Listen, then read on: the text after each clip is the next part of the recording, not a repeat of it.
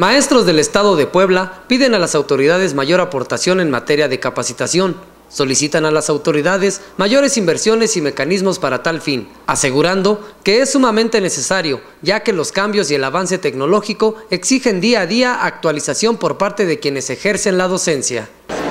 Pues sí, sí puede ser insuficiente porque hacen por falta de maestros preparados, ¿sí? Necesitamos un, maestros mejor preparados para que la docencia este, salga adelante, se fortalezca. ¿sí?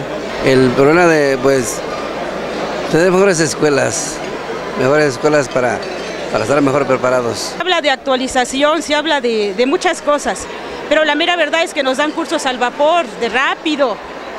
No son cursos buenos, pagados, con buenos maestros. Para Telefórmula Puebla informó Marco Polo Martínez.